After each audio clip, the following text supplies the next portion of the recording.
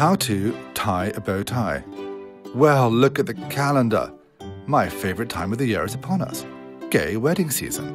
Which means one thing it's time to break out the bow tie.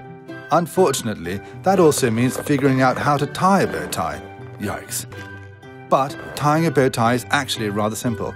With just a little practice and a little patience, anyone can do it. Just follow these simple steps.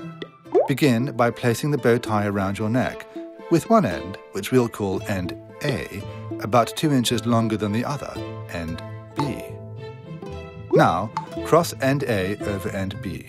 Then, bring end A up and under the loop. Now, double end B over itself and loop end A over the center of the loop you just formed.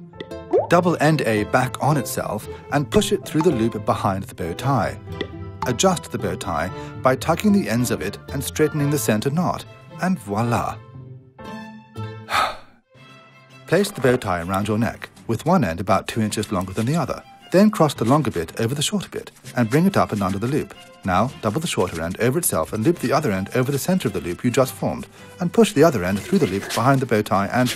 Oh, mother... Place the bow tie around your neck, with one end longer than the other, then cross this bit over this bit and bring it up and under the loop, then double end this end over itself and loop the other end over the center of the loop you just formed and push the other end through the loop behind the bow tie and... Just go buy a clip on.